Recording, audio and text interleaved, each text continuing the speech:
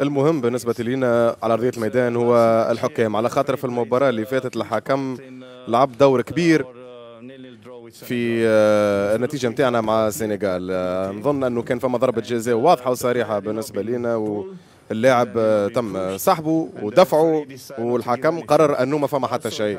كذلك كان فما فرصة واضحة والحكم أوقف اللعب وقال فما تسلل بدلا من أنه يعطينا الأفضلية.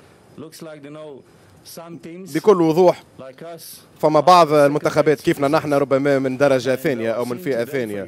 ونحن نراو اليوم مثلا أنه المدرب متاع غامبيا اللي تشكى من البنية التحتية والفنادق. أحنا زاد كذلك تفاجئنا من الفنادق.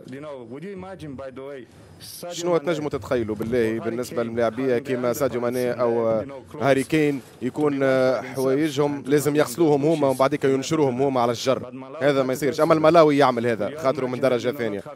تخيلوا أنه ما فماش ماكلة بما يكفي. وأنا نتشكى من هذا. أي هذا صار لنا. تفضلوا فما سؤال. عندنا بعض المشاكل. حوايجنا أبسط حاجة حوايجنا ما تغسلوش. هذه حاجة محزنة ومخجلة فعلا أنه نحن نغسل حوايجنا بأنفسنا. وننشرهم بأنفسنا كقارة أفريقية لازم الناس الكل تتعامل بنفس الطريقة. السنغال نيجيريا وكل المنتخبات الأخرى لازم تتعامل بنفس الطريقة. هذه منافسة ولازم تكون عادلة وشريفة.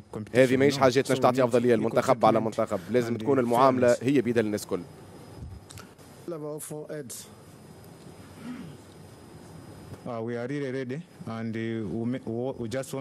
إحنا حاضرين وكل اللي نحبوا نعملوه هو ان نجعلوا بلادنا فخورة بنا إحنا هنا باش نتنافسوا. إحنا ماناش هنا باش نقلقوا أي حد. فما برشا منتخبات كبيرة ومحترمة ونحن نحبوا نصعوا الفارق غدوة.